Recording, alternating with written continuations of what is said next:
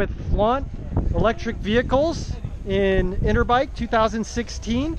They're a new manufacturer of electric bikes out in New Smyrna, Florida. They have a great little bike here. It's called the Flaunt Vico, Oh, right? And it's an e-bike, has motor assist, up to 500 watts of power, and you can use pedal assist or you can use this throttle here. Whoops, sorry about that. Obviously you can see it's got plenty of torque there. And it's got a great battery from Samsung, lithium ion battery right there. What's the It's a 15.6 amp battery. Uh, with a 36 volt system, it's over 560 watt hours. Okay, so what that translates to, if you're riding in the me- medium setting around level four, it's got six settings. You could probably get about 40 or 50 miles with pedal assist on flat land. Obviously, uphills and wind will affect the range of your bicycle.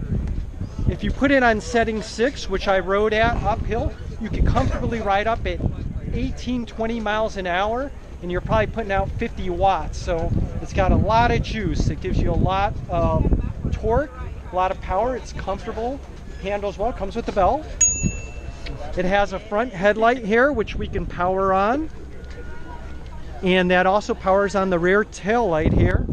You'll see. And when you power it off, the brake works as a brake light in the rear. I'll show you that. See that? There's a lot of safety features incorporated. Nice soft cush saddle. Great for family bike if you want to go run little errands. You can put a basket in the back, go get groceries. And this is Kevin, one of the founders, owners of Flaunt Bikes. We'll see you on the road. Hopefully we get more of these in the shops. If you're interested, contact Flaunt. Electric vehicles. Flaunt. Flaunt.vehicles.com. You can find us on Facebook, Instagram, Twitter. There you go. Thanks. Thanks for coming to Outdoor Demo 2016. Thank you very much. Bye bye.